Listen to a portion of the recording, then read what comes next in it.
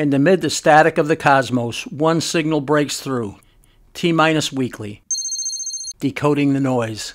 And this week we're talking Starship's big win, telescopes rewriting the sky, and the quiet farewell to a mission that mapped the galaxy.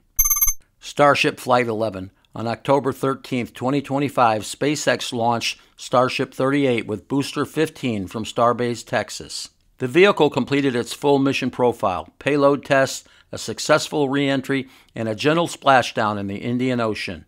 This marks the end of the Block 2 era as SpaceX shifts towards Starship V3, sleeker, stronger, and tuned for lunar and Mars refueling.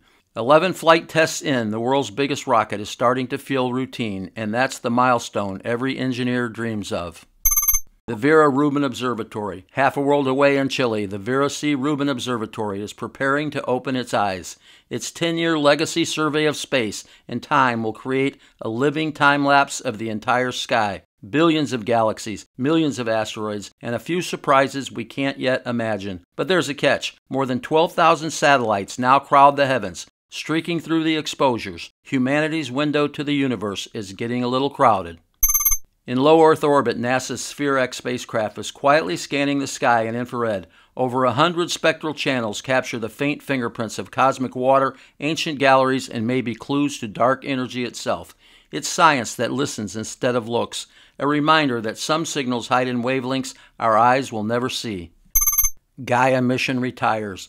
Meanwhile, Europe's Gaia Observatory powered down after mapping nearly 2 billion stars. Its data will live on for decades, guiding navigation, research, even sci fi dreams. Proof that discovery doesn't end when the instruments go quiet.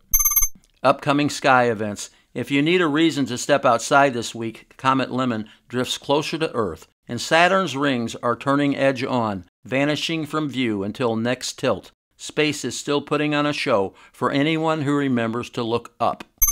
And that's your T Minus Weekly Update. Like, subscribe, and share if you believe curiosity still matters. Until next time, keep your tether tight and your eyes on the horizon.